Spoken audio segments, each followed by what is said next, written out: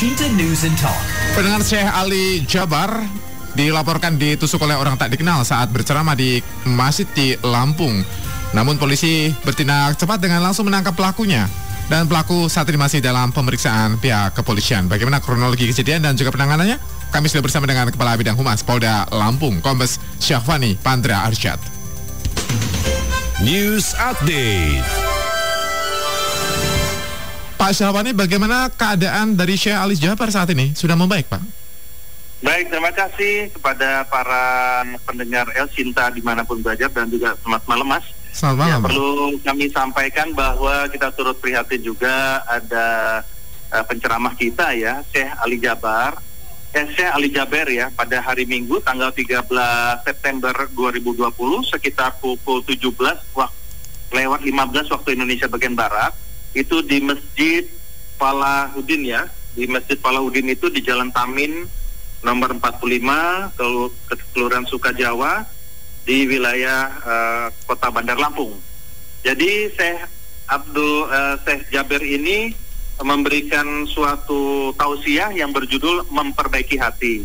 Jadi pada saat jemaah itu sudah mulai dimulainya memang pukul 17 ya karena Ya. memang acaranya juga baru berlangsung sekitar 15 menit dan terjadi interaksi antara penceramah dengan eh, para jemaah Ya. yang hadir pada sore hari tadi. Ini di eh, dalam masjidnya, Pak ya? Bersama di aula, tidak ada mimbar gitu? Ya ada ada mimbar. Jadi Oke. tidak di dalam masjid kelurahannya ada di ada memasang tenda juga karena mungkin karena sekarang situasi protokol kesehatan Hmm. tentunya berada di luar gitu untuk uh, sirkulasi udara dan kebersihan di dalam uh, ini juga apa namanya uh, dalam masjid Walaudin tersebut. Jadi pada saat terjadi komunikasi sekitar 15 menit interaksi dengan para jemaah tempat dilontarkan oleh jemaah eh, oleh Pak apa Syekh Ali Jaber Jaber? Mhm. inginnya uh, ingin menyampaikan apabila ada jemaah yang ingin uh, hand, apa namanya berfoto ataupun perlu pinjam handphonenya gitu barangkali berfoto atau uh, interaksi seperti itulah. Ya. Jadi tiba-tiba muncullah seorang laki-laki. Ya kira-kira laki-laki ini lelaki dewasa lah ya kami kami sudah mendalami. Ya, tiba-tiba langsung menghampiri dari sisi sebelah kanan untuk menghampiri ke wilayah uh, ke podium Ke mimbar itu, Uh, oke. Mhm. Nah, karena Syekh Ali Jabernya juga cukup eh, apa ya tanggap ya, tanggap dan juga cepat waspada, akhirnya mengarah ke diri dia itu bukannya handphone tetapi berupa senjata tajam. Jadi waktu arah dari kanan, saya ulang Pak, datang dari kanan itu Hmm. sudah terlihat memegang pisau ya? Iya, kira-kira begitu. Ya. Tetapi kan pada saat itu Syekh Ali Jaber kan melihatnya ke berjemaah. Hmm. Pada saat dia mendekat, dia melihat kok ada senjata tajam. Dia tangkis. Ah, Syekh Ali Jaber ini sempat menangkis, akhirnya mengenailah bahu sebelah kanan. Akibatnya terjadilah luka-luka, akhirnya diselamatkan oleh petugas Hmm. dan para panitia dan jemaah diselamatkan ke eh, untuk dilakukan pengobatan luka tersebut. Ya sempat dibawa ke rumah apa ke puskesmas dan saat ini alhamdulillah kondisi Syekh Ali Jaber dalam keadaan eh, stabil, normal dan sudah eh, artinya sudah pasca pengobatan sudah kembali ke akomodasi untuk beristirahat. Syukur ya, jadi tinggal masa perawatan dan pemulihan ya artinya saat ini ya Pak Ya, betul. Dan waktu yang bersamaan pelaku yang diduga laki-laki eh, dewasa tadi sudah sempat diamankan juga oleh jemaah termasuk oleh petugas atau panitia juga langsung diamankan dan dibawa ke eh, Laki-laki tadi memang umat di situ atau uh, siapa Pak? Sempat datang mendadak atau gimana? Enggak, memang berbaur ya. Artinya Oke. sempat berbaur. Namanya juga ini kan tausiah untuk umum ya. Umum sifatnya. ya. Karena Mhm. sudah di, ah, sifatnya adalah tausiah yang sifatnya umum dan disampaikan melalui media sosial. Intinya seperti itu, Mas. Sudah diketahui siapa dan identitasnya Pak Syahwani?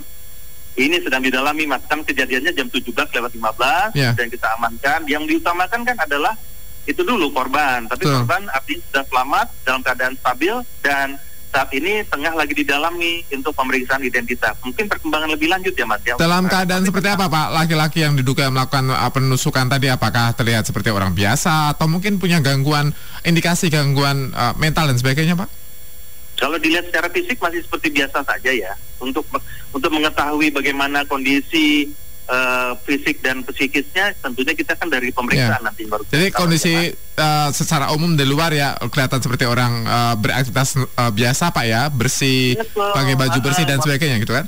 Iya bersih, tidak ada kotor atau apa kelihatannya tampilannya seperti biasa, tapi memang gunakan kaos saja sih ibaratnya karena kaos dengan celana Oh. panjangnya tidak menggunakan uh, Baju koko atau Ya, pakai peci yang umumnya datang ke Ya, sebuah kajian. uh, Iya biasanya, ya hanya pakai itu aja pakai kaos, kemudian celana panjang dan saya tidak mendapatkan peci atau gimana, Ya. cuman seperti itulah tidak seperti menunjukkan yang uh, hal-hal yang lain. sih Tapi ini isunya tidak melebar ke mana-mana kan Pak Sawani?